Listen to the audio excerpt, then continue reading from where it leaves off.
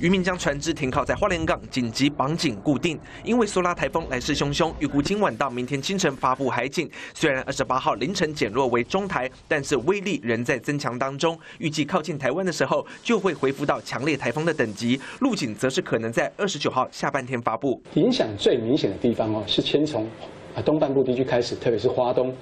南部的山区啊，受到的影响也很大。随着台风接近，加上适逢超级蓝月，八月三十号到九月三号涨潮期间，西部沿海都将可能海水倒灌。而且第十一号台风海葵在二十八号上午生成，是大范围的台风，目前往冲绳的方向。如果再往北台湾前进，不排除有双台夹击的可能。不过气象专家表示，要先留意苏拉对南台湾带来的影响，并且透露出几个可能放台风假的县市以及时间点。暴风圈大概在周三的下午之后开始会接接触到我们的南台湾地区，包含了台东、屏东、高雄、台南这几个地方，所以在周三下午到晚上的时候，这几个地方的朋友倒是有可能会有台风假。那到了礼拜四这一天的影响层面来说是比较明显，南高平跟台东地区的话，周四这一整天当中都有可能有台风假的机会。为了防范苏拉台风来袭，行驶台东到兰屿绿岛的客轮，二十八号傍晚起全部停航，绿岛一整天开六班船，来回十二航次，就是为了要输运一千五百名旅客，为了防台做好准备。记者黄义俊、王一仲台北报道。